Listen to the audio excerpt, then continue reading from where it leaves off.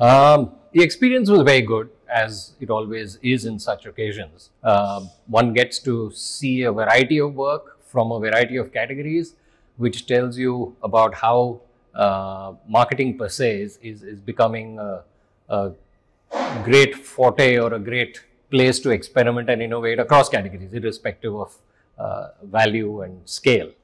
Um, the second is, I think, the, the variety of work shows the variety of ideas that people are coming up with, uh, which is always interesting and, and uh, eye opening. And the third is, of course, everyone talks about technology, but uh, how people have used technology, there are extremes where lots of technology has been used, uh, and at one end, a limited technology but used very intelligently. So the whole spectrum was great.